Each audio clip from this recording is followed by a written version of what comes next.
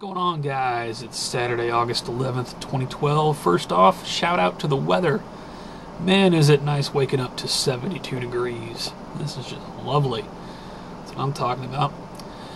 Got something here for you. Oh, uh, just a quick note. Yesterday they were talking about how Hezbollah has threatened to blow up the United States and Europe. I think actually Europe was the more specific.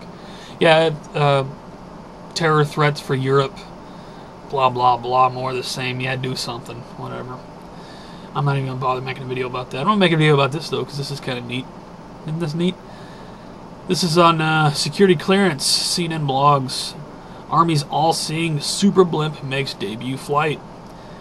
U.s army has launched the debut flight of the massive long endurance multi-intelligence vehicle lemv uh, souped up blimp designed to fly consistently for 21 days and provide full surveillance of an area. Uh, the LEMV has launched was launched Tuesday from the Joint Base McGuire Dix Lakehurst in New Jersey. The test flight uh, lasted about 90 minutes. So the Army has uh, what they're calling an all-seeing super blimp. All-seeing. I'm going to put a link to this, and there's a video on that page about it. Uh, I got another uh, article from the Danger Room, Wired.com. All seeing blimp could be Afghanistan's biggest brain.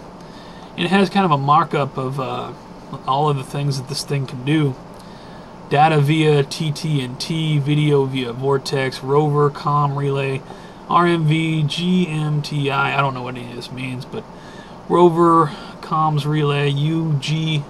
S relay, SIGINT, TCDL, and of course satellite communications around the globe. So basically, uh, this thing's like longer than a football field and can stay up in the air for extended periods of time because it's a blimp. It doesn't have the same sort of, uh, you know, it doesn't require the same sort of power that like a uh, the massive jet would, or what the, what the like doomsday plane, I think they would call it, right? Thing, you know, the thing that was over the E-4Bs that were over Washington on uh, the morning of 9/11.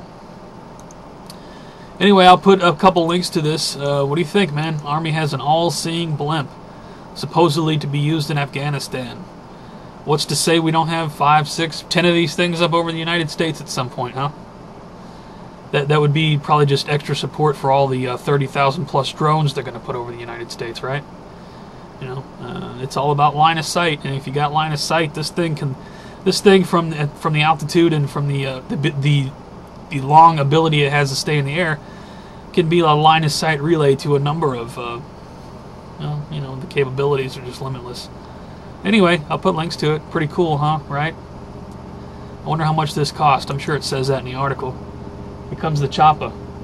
Get to the chopper. Have a good weekend.